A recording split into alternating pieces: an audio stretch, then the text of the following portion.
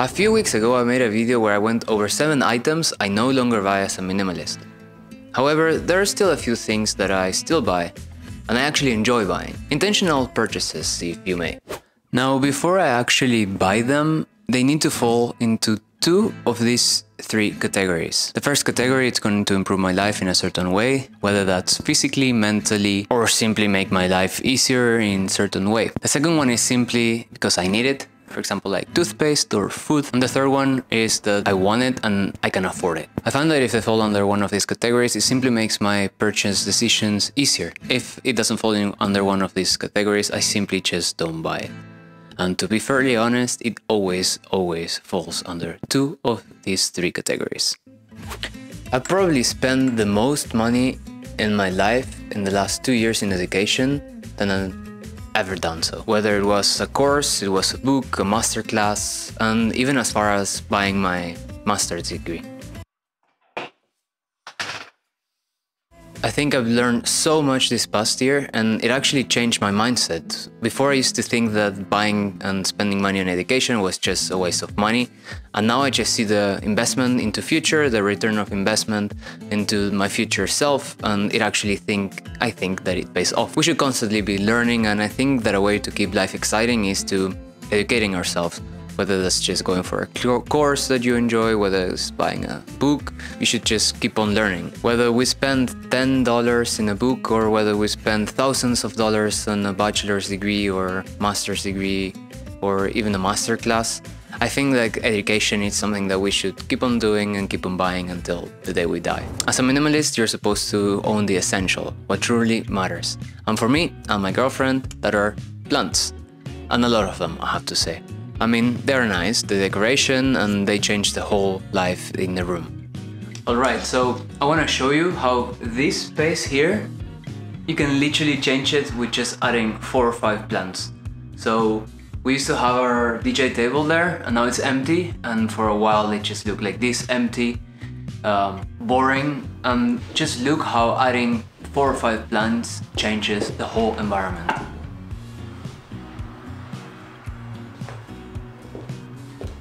Just with one. Just look how one already changes everything.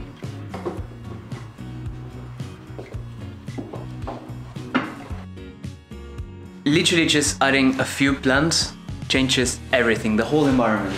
You can really see that, yeah, why we like plants. If I'm on the road or perhaps not at home, something that I still buy and quite a lot maybe, snacks.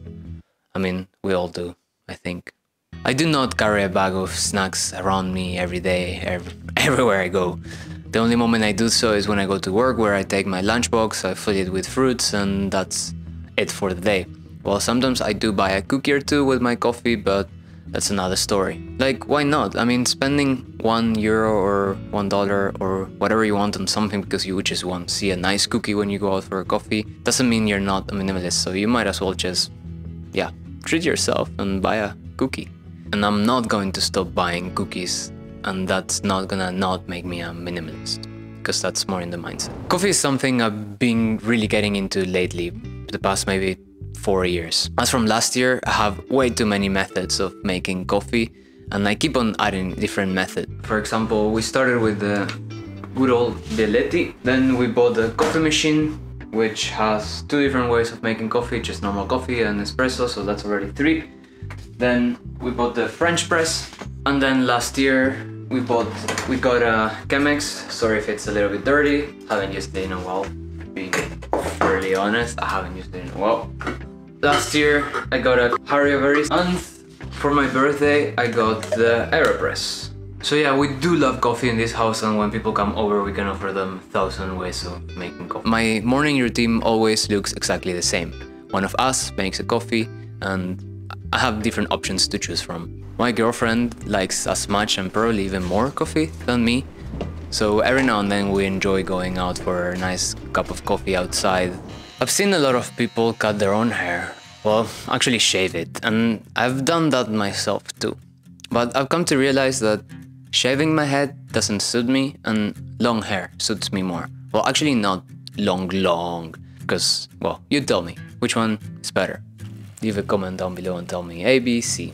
I do understand that if you're getting bald, you might as well just buy a shaving machine and shave your hair yourself, maybe even with the same one that you use for your beard. But I find it that going to the hairdresser and cutting my hair once every two months or three is a nice way of me to treat myself. Some so something I keep on buying are haircuts and I don't want to look like a mess out there when I go to clients or when I go to work. I want to look good to feel good. And having haircuts every now and then is just my way of doing so.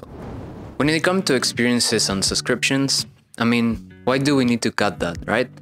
Who doesn't enjoy a Friday evening, just sit down, relax, watch Netflix or Amazon Prime or whatever your poison of choice is? Or maybe in a cabin in the middle of nowhere or going and visit a big city or even having a Spotify subscription to listen to music while you're at work without ads. When it comes to experiences, it's something that I do not save my money on. But when it comes to subscriptions, I have the bare minimum. For example, I used to have an audio subscription for books, and I didn't enjoy it as much. I discovered that I was still reading the book and following it because I would get distracted, so I canceled that subscription.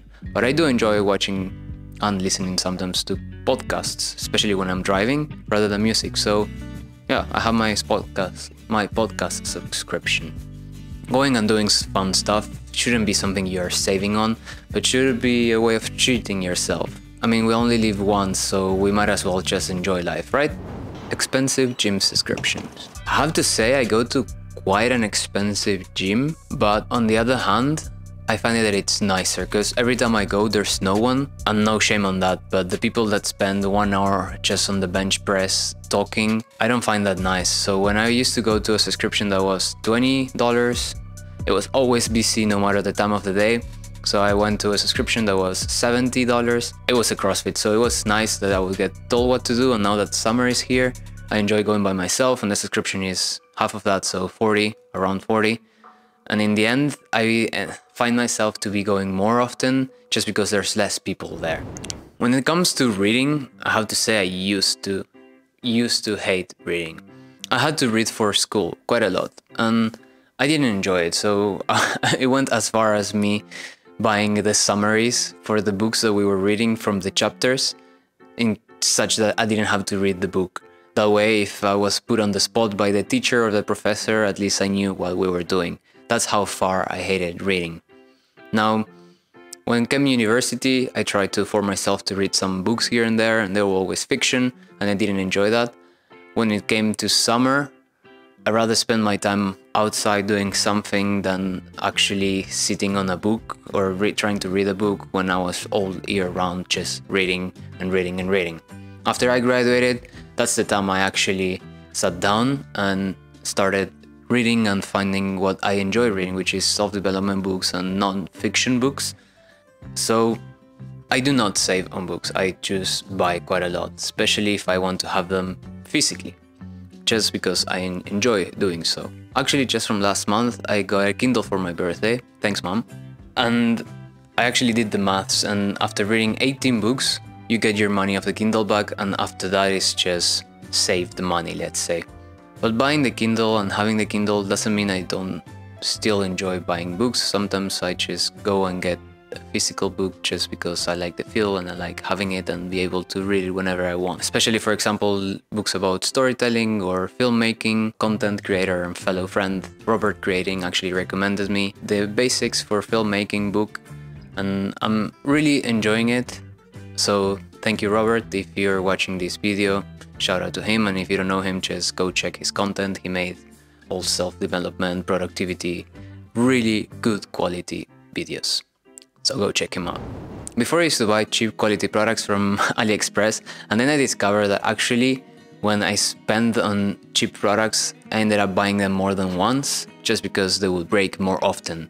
So something that I'm starting to do more often is buying good quality products. For example, a microphone or for example a camera or for example a phone. Yeah, they last longer and in the end it's a smart financial decision I would say.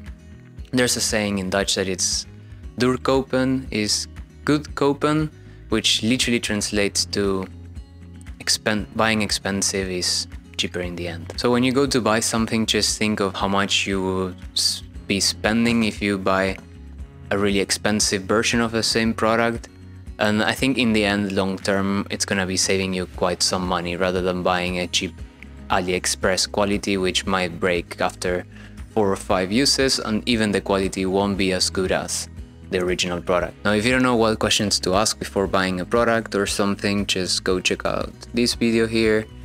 And if you enjoyed this video, please don't forget to subscribe. I'll see you on the next one.